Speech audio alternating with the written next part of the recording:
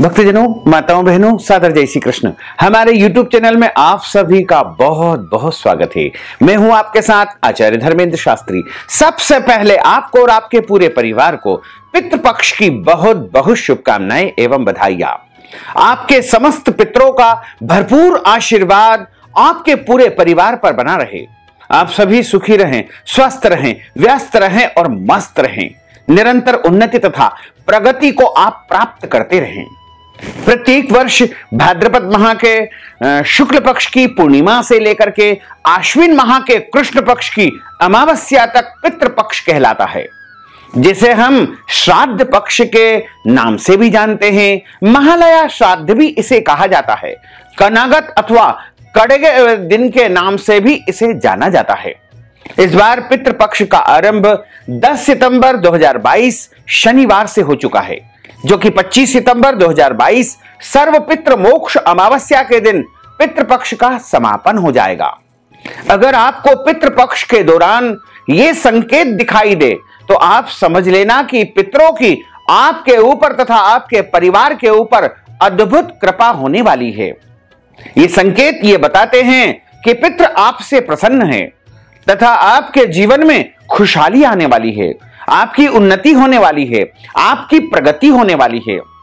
तो ये कुछ संकेत हम आपको बताने जा रहे हैं। अगर आपके घर परिवार में कई प्रकार की समस्याएँ उत्पन्न हो रही है, यदि आपके घर में आर्थिक समस्याओं का सामना आपको करना पड़ रहा है, या फिर परिवार के बीच में वैचारिक मतभेद उत्पन्न हो जाते हैं, या फिर विवाह योग्य वर या कन्या का विवाह नहीं हो पाता है अथवा आपकी नौकरी में उन्नति नहीं हो पा रही है, प्रगति नहीं हो पा रही है, आप अपने सपने में अपने जो पित्र होते हैं, उनको दुखी देखते हैं। या फिर आपके घर में कई प्रकार के क्लेश निरंतर उत्पन्न होते रहते हैं। तो आप समझ लेना कि आपके घर के ऊपर, आपके परिवार के ऊपर पितृ दोष लगा हुआ है। जब हमारे मृतक पूर्वज माता पिता या फिर चाचा, चाची, ताऊ इत्यादि जो भी हमारे पूर्वज या परिजन होते हैं, जिनकी मृत्यु हो चुकी है, उनका अंतिम कर्म या श्राद्ध कर्म अगर अभी तक किसी कारण से विधि विधान से संपन्न नहीं हुआ है तो उनकी आत्मा भटकती रहती है, उनका मोक्ष नहीं होता है, और उनकी जब आत्मा भटकती है तो वो परेशान होते हैं। ऐसे में आपके घर परिवार से वो अपेक्षा रखते हैं कि आप उनके लिए पिंडदान करेंगे, पितृदोष शांति करवाएँगे, तर्पण करेंगे, श्राद्ध करेंगे। ऐसी परिस्थिति आपके घर में निर्मित हो जाती है कि आप किसी कारणवश उनके लिए श्राद्ध कर्म संपन्न नहीं कर पाते हैं। तो आपके घर के ऊपर, परिवार के ऊपर पितृदोष निर्मित हो जाता है। और पितृदोष धीरे धीरे करके जो है महाभयंकर स्वरूप को प्राप्त कर लेता है। तो अगर आपको इन सब परिस्थितियों का सामना निरंतर करना पड़ रहा है तो आप पितृदोष की शांति अवश्य कराएँ। किसी भी तीर्थ स्थल में जाकर के आप पितृदोष शांति करवा सकते हैं। जैसे आपके निकट यदि कोई भी तीर्थ स्थल है, उज्जैन है या नर्मदा जी का किनारा है या गंगा जी का किनारा है या फिर गया जी, यदि आप जा सकते हैं तो अति उत्तम है। या फिर, बद्रीनाथ धाम में ब्रह्म कपाली यदि आप करना चाहते हैं तो वहाँ पर भी आप पितरों के निमित्त ब्रह्म कपाली श्राद्ध संपन्न कर सकते हैं। लेकिन ध्यान रखें, पहले आपको गया जी में जाकर के श्राद्ध अवश्य करना चाहिए। उसके बाद अंतिम जो स्थान होता है पितृ मोक्ष का, जो कि बद्रीनाथ धाम में ब्रह्म कपाली के रूप में संपन्न किया जाता है। और वहाँ पर जिनका श्राद्ध या विधि विधान से पिंडदान किया जाता है, उनका मोक्ष अवश्य ही होता है। इसमें कोई संशय नहीं है। लेकिन फिर भी अगर आप गया जी जाकर के श्राद्ध करते हैं तो अति उत्तम है। गया जी आप एक बार भी जा सकते हैं, दो बार भी जा सकते हैं, और कई बार आप गया जी जाकर के श्राद्ध कर सकते हैं। लेकिन बद्रीनाथ धाम यदि आपने ब्रह्म कपाली कर दिया है तो फिर आपको गया जी जाने की आवश्यकता नहीं होती है। और इसी तरह कई लोगों के मन में यह धारणा है कि गया श्राद्ध करने के बाद में पितरों का तो मोक्ष हो गया है। फिर हमको अपने घर में उनके निमित्त कुछ भी करने की आवश्यकता नहीं है। यह बिल्कुल गलत धारणा है। हम आपको स्पष्ट कर दें कि अगर आपने गया श्राद्ध कर दिया है, ब्रह्म कपाली भी उनकी कर दी है तो भी आपको पितरों के निमित्त तर्पण करना चाहिए। पितरों के निमित्त ब्राह्मण भोजन आपको करना चाहिए। लेकिन ध्यान रखें, जब हम पितरों को विदा कराते हैं तो उनका पुनः आवाहन नहीं करना चाहिए। उनका संकल्प के रूप में आवाहन करके उनको पुनः बुलाना नहीं चाहिए। आप उनके निमित्त तर्पण कर सकते हैं। और उनके निमित्त ब्राह्मणों को भोजन भी करवा सकते हैं। उनके निमित्त गो माता को आप ग्रास खिला सकते हैं, कौवे को रोटी दे सकते हैं, आप चीटी को आटा खिला सकते हैं और अतिथियों को भोजन करवा सकते हैं, तथा आप कुत्ते को भी ग्रास खिला सकते हैं। आपके घर पर यदि कोई भी मांगने वाला या फिर जरूरतमंद व्यक्ति आता है तो उसको भी आप भोजन करवा सकते हैं, इसमें कोई दोष नहीं है। इसी तरह जो श्राद्ध कर्म होता है, पितृ कर्म होता है, वह विशेष रूप से पुत्र का कर्तव्य होता है। लेकिन यदि किसी का पुत्र नहीं हो तो उसके निमित्त श्राद्ध कर्म पुत्री भी कर सकती है। और पुत्री नहीं है तो पुत्र वधु भी श्राद्ध कर सकती है। और पुत्र का बेटा भी कर सकता है, पुत्री का बेटा भी कर सकता है। या कोई भी परिजन उनके निमित्त श्राद्ध कर्म संपन्न कर सकते हैं। महिलाएँ भी श्राद्ध कर सकती है। इसमें कोई संशय नहीं है। तथा माता पिता भी अपने पुत्र का श्राद्ध कर सकते हैं। बहू भी अपने सास ससुर का श्राद्ध कर सकती है। श्राद्ध कर्म अनिवार्य रूप से करना चाहिए। श्राद्ध कर्म हमेशा श्रद्धा से करना चाहिए। श्राद्ध कर्म में कभी भी उतावलापन नहीं दिखाना चाहिए। श्राद्ध कर्म में क्रोध नहीं करना चाहिए। पूरी श्रद्धा और निष्ठा से जो कर्म किया जाता है, उसे ही उत्तम श्राद्ध कहा गया है। प्रत्येक इंसान चाहता है कि वो जीवन में उन्नति करे और प्रगति करे। लेकिन कई प्रकार की बाधाओं का सामना उसको करना पड़ता है। तो अगर आपको पितृपक्ष में सबसे पहला संकेत जो हम आपको बताने जा रहे हैं, अचानक आपको धन की प्राप्ति होने लगे। यानी आपको किसी से रुपए पैसे लेना है और वो बार बार मांगने पर भी आपको नहीं दे रहा है। और पितृपक्ष में यदि अचानक वो व्यक्ति आपको उधार दिया हुआ पैसा लौटाने लगे, अचानक धन लाभ आपको पितृपक्ष में होने लगे तो यह पितृ कृपा का ही एक बड़ा संकेत माना जाता है। दूसरा संकेत है, कोई कार्य आप बहुत दिनों से करने के लिए इच्छुक है, लगातार प्रयास कर रहे हैं। और वो काम अभी तक संपन्न नहीं हो पा रहा है। लेकिन अचानक पितृ पक्ष में वो कार्य आपका यदि होने लगे तो समझना कि यह पितृ कृपा का ही एक दुर्लभ संकेत माना जाएगा। इसी तरह यदि आप अपने जीवन में नया घर खरीदने की इच्छा रख रहे हैं, या नया वाहन आप खरीदने की इच्छा रख रहे हैं, या कोई भी प्रॉपर्टी खरीदने की आपके मन में बहुत दिनों से इच्छा है लेकिन उस कार्य को आप अंजाम नहीं दे पा रहे और अचानक प्रॉपर्टी खरीदने का कार्य, वाहन खरीदने का कार्य, घर खरीदने का कार्य, यदि पितृपक्ष में संपन्न हो जाता है या पितृपक्ष में उसकी चर्चा फाइनल हो जाती है तो यह भी एक प्रकार का पितृ कृपा का ही संकेत आपको मानना चाहिए। यानी पितरों के माध्यम से ही वह वस्तु आपको मिलने वाली है। यदि आप सपने में अपने पितरों को, जैसे माता पिता को, या फिर अन्य जो भी मृतक परिजन हैं, उनको सपने में प्रसन्न अवस्था में देखते हैं तो समझना कि पितरों की अद्भुत कृपा आपके जीवन पर अब होने वाली है। आपके पित्र आपसे प्रसन्न हैं। लेकिन ध्यान रखें कि अगर आपके पूर्वज, आपके पितर जो भी मृतक परिजन है, वो यदि आपके सपने में आकर के लगातार रोते हैं और दुखी होते हैं। तो आप समझना कि आपके पित्र अतृप्त है और आपसे वो कुछ अपेक्षा रखते हैं। इसलिए उनके निमित्त आपको श्राद्ध कर्म करना चाहिए, तर्पण आदि, जो भी विधि विधान आपसे बन सके, वो कर्म उनके निमित्त अवश्य करना चाहिए। इसी तरह यदि आप कोई कार्य को करने जा रहे हैं और उस कार्य में बहुत बाधाएँ उत्पन्न हो रही थी। लेकिन किसी भी वरिष्ठ बुज़ुर्ग व्यक्ति के सहयोग से वह कार्य संपन्न हो जाता है। या दादा दादी या माता पिता की कृपा से या उनके सहयोग से यदि वह कार्य संपादित हो जाता है तो आप समझना कि यह भी पितरों की कृपा का ही एक संकेत है। और पित्र आपसे प्रसन्न हैं और आपके कार्यों में वह सहयोग प्रदान कर रहे हैं।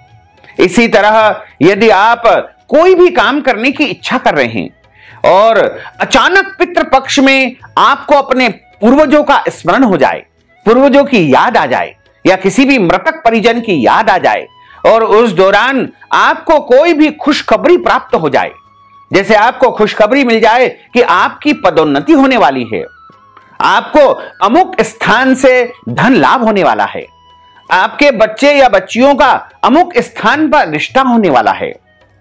तो आप समझना कि यह पितरों का ही एक प्रकार से आशीर्वाद आपको प्राप्त हो रहा है।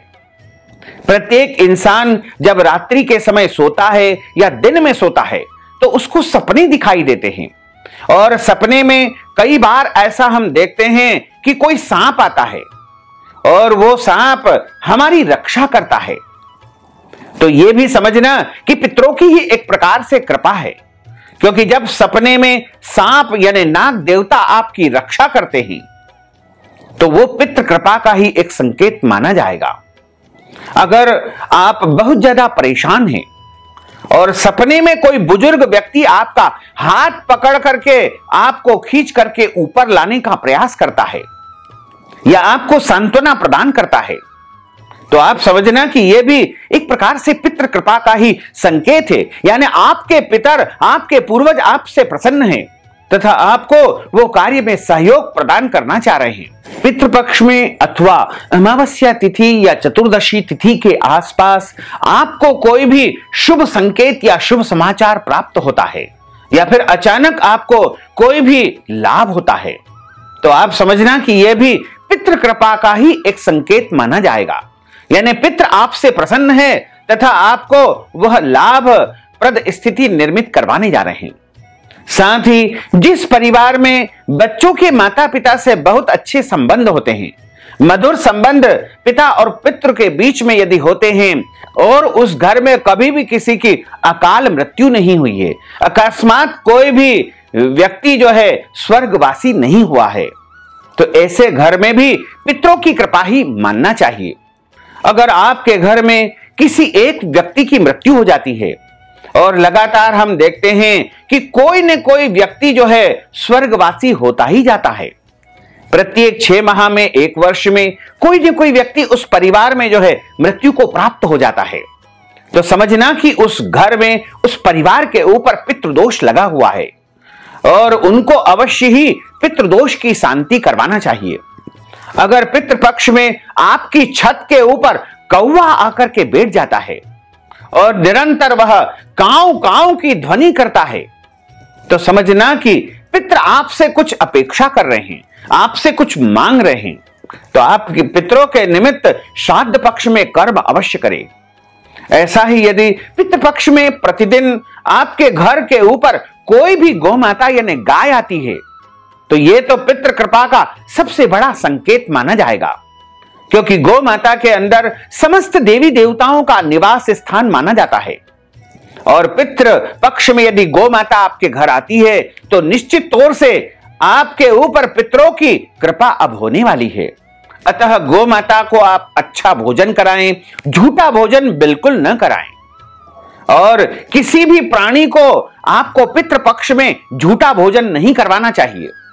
उनको शुद्ध और पवित्र भोजन ही आपको करवाना चाहिए। अगर पितृपक्ष में अचानक किसी बुज़ुर्ग या वरिष्ठ व्यक्ति का आपके घर में आगमन होता है, जो कई दिनों से आपके घर नहीं आए हैं, लेकिन पितृपक्ष में अचानक आपके घर में वो आ जाते हैं तो आप समझना कि अब पितरों की आपके ऊपर कृपा होने वाली है। और पितृपक्ष में आपको कुछ विशेष लाभ की प्राप्ति होने वाली है।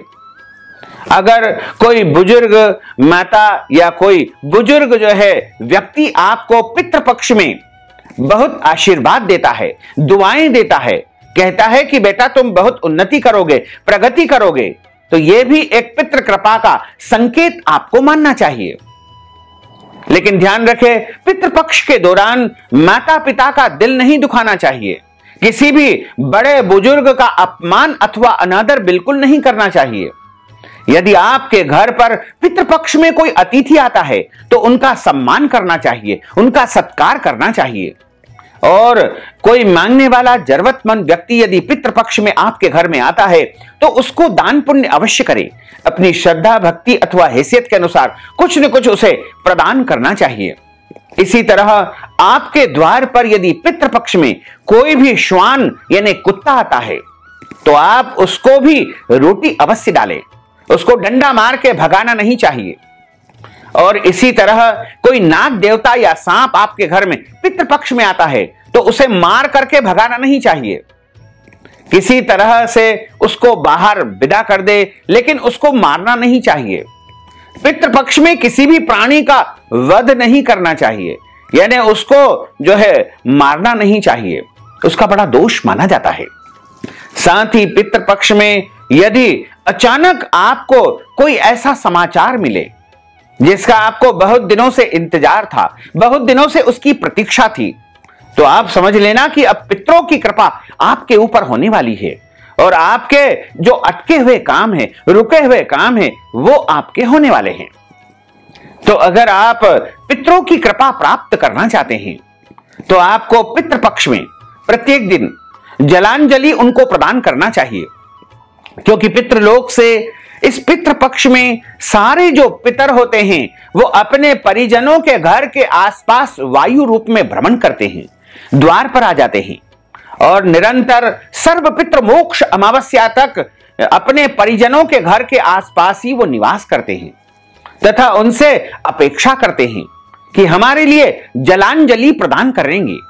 जलांजलि मतलब दो हाथ से जो है अंजलि जो प्रदान की जाती है, उसे जलांजलि कहा जाता है। हाथ में कुशा और जव तिल रख करके जल की अंजलि जो प्रदान की जाती है, उसे जलांजलि कहा जाता है।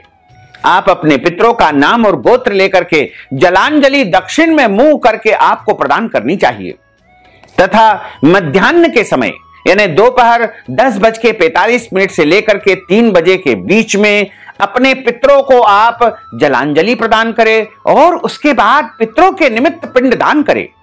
अगर आप चावल का पिंड बनाना चाहते हैं तो चावल को पहले पका लीजिएगा और चावल पका करके उसमें दूध, दही, शहद शकर घी थोड़ा थोड़ा मिला लीजिएगा। थोड़े जव तिल उसमें डाल करके और एक गोला आपको बनाना चाहिए। तथा अपने हाथ में पिंड को रख करके अपने जो मृतक परिजन है या पितर है, उनका नाम गोत्र यदि आपको याद है तो वह बोल करके आपको दक्षिण की ओर मुँह करके अंगूठे के माध्यम से कुशा के ऊपर स्थापित करके हाथ जोड़ करके अपने पितरों से प्रार्थना करें कि हे पितृदेव, हम आपके लिए पिंड दान करने जा रहे हैं। और दक्षिण दिशा में अपने पूर्वजों का चित्र स्थापित करें, उनका पूजन करें, उनके ऊपर माला चढ़ाएँ। तथा प्रत्येक दिन सुबह और दोपहर तथा शाम के समय दक्षिण दिशा में तिल का तेल का जो दीपक है, वह लगाना चाहिए। इससे पितरों को परम शांति प्राप्त होती है। और इसी तरह जो भोजन आप निर्माण करते हैं, वह शुद्ध और पवित्र भोजन होना चाहिए। उसमें लहसुन प्याज का उपयोग बिल्कुल न करें। शुद्ध घी की पूड़ी बनाएँ और खीर बना करके और पितरों को भोग लगाएँ। तथा उनको भोग लगाने के बाद यदि संभव हो तो ब्राह्मण को भोजन करवाएँ। यदि ब्राह्मण को भोजन नहीं करवा सकते हैं तो आप उनको आटा, दाल, चावल, सीधा सामग्री भी प्रदान कर सकते हैं। इसी तरह गो माता को शुद्ध और पवित्र भोजन कराएँ। गो माता को झूठा भोजन बिल्कुल प्रदान न करें। तथा कुत्ते को रोटी खिलाएँ, कौवे को रोटी खिलाएँ, और इसी तरह आप चीटी को आटा और शक्कर डालें। तथा मछलियों को भी दाना चुगाना चाहिए। अतिथियों को भोजन करवाना चाहिए और देवताओं को भी इस दौरान पूजन अर्चन करके भोग लगाना चाहिए। कई लोगों के मन में यह धारणा है कि पितृपक्ष में पूजन नहीं करना चाहिए। यह बिल्कुल गलत धारणा है। पितृपक्ष में भी आप पूजन अर्चन करें, भोग भी लगाएँ, आरती भी उतारें, शंख बजाएँ। और नियमित रूप से जो कार्य आप करते हैं, वो आपको करना चाहिए। इस तरह आप पितरों को प्रसन्न करें तथा सर्व पितृ मोक्ष अमावस्या के दिन समस्त पितरों का श्राद्ध कर्म इसी प्रकार आप संपन्न कर सकते हैं। अगर आपके अपने पूर्वजों की तिथि यदि आपको ज्ञात है तो आपको उस तिथि पर ही उनका श्राद्ध कर्म करना चाहिए। इस बार प्रतिपदा का जो श्राद्ध है, वो 10 सितंबर को बताया गया है। वहीं पूर्णिमा का जो श्राद्ध है, वह भी 10 सितंबर को एवं 11 सितंबर को प्रतिपदा एवं द्वितीया का श्राद्ध भी बताया गया है। तथा 12 सितंबर को तृतीया का श्राद्ध बताया गया है। 13 सितंबर चतुर्थी का श्राद्ध 14 सितंबर पंचमी का श्राद्ध है। 14 सितंबर के बाद जो 15 सितंबर आएगी, उस दिन षष्ठी तिथि का एवं भरणी का श्राद्ध है। 16 सितंबर शुक्रवार को सप्तमी का श्राद्ध है। 17 सितंबर को श्राद्ध पर्व रहेगा, लेकिन कोई तिथि मध्यान्ह व्यापिनी नहीं होने से उस दिन जो है केवल श्राद्ध कर्म संपन्न कर सकते हैं। उस दिन विश्वकर्मा भगवान का पूजन होगा, महालक्ष्मी व्रत भी उस दिन माना जाएगा। 18 सितंबर रविवार को अष्टमी का श्राद्ध होगा, तथा इस दिन जीवित पुत्रिका यानी जीवतिया का श्राद्ध और पूजन कर्म संपन्न होगा। 19 सितंबर को नवमी का श्राद्ध होगा, जिसे मात्र नवमी के नाम से भी जाना जाता है। और 20 सितंबर को दशमी का श्राद्ध होगा तथा 21 सितंबर को एकादशी का श्राद्ध होगा। इस दिन पित्र एकादशी भी रहेगी। लेकिन ध्यान रखें, अगर आप एकादशी का श्राद्ध करते हैं तो आपको उस दिन फलाहारी खीर का निर्माण करना चाहिए। और उस दिन ब्राह्मणों को यदि आप भोजन करवाते हैं तो फलाहार वाला भोजन ही आपको करवाना चाहिए। इस दिन अन्न का उपयोग बिल्कुल नहीं करना चाहिए। तथा पितृ एकादशी के दिन चावल की खीर आपको नहीं बनाना इसी तरह 22 सितंबर को द्वादशी का श्राद्ध होगा 23 सितंबर को त्रयोदशी का श्राद्ध होगा, एवं मघा का श्राद्ध भी इस दिन संपन्न होगा। 24 सितंबर को चतुर्दशी का श्राद्ध होगा, वहीं 25 सितंबर को सर्वपित्र मोक्ष अमावस्या रहेगी। सभी ज्ञात, अज्ञात पितरों का श्राद्ध, जिनकी तिथि याद है या याद नहीं भी है, उन सभी का श्राद्ध आपको सर्वपित्र मोक्ष अमावस्या इन्हें 25 सितंबर के दिन संपन्न करना चाहिए। तो अगर आप श्राद्ध की विधि अपने अनुसार करना चाहें तो कर सकते हैं, लेकिन यदि आप किसी कारण श्राद्ध करने में असमर्थ है, आपके पास समय नहीं है तो आप हमारे माध्यम से भी अपने पितरों का श्राद्ध कर्म संपन्न करवा सकते हैं। इस हेतु अपने पितरों का नाम तथा गोत्र हमें व्हाट्सएप के माध्यम से भेज दीजिएगा। तथा इस हेतु नगद राशि हमारे पेटीएम के माध्यम से, गूगल पे के माध्यम से, फ़ोन पे के माध्यम से, अकाउंट नंबर के माध्यम से, या व्हाट्सएप पेमेंट के माध्यम से भेज करके पितृपक्ष का संपूर्ण पुण्य लाभ प्राप्त कर सकते हैं। साथ ही आपसे अनुरोध है कि हमारे इस ज्ञानवर्धक वीडियो को अधिक से अधिक लोगों को शेयर करिएगा लाइक करिएगा कमेंट करिएगा, और यदि अभी तक आपने सब्सक्राइब नहीं किया है तो अभी और इसी समय सब्सक्राइब अवश्य कर लीजिए। आपको और आपके पूरे परिवार को सादर जय श्री कृष्ण, सादर धन्यवाद।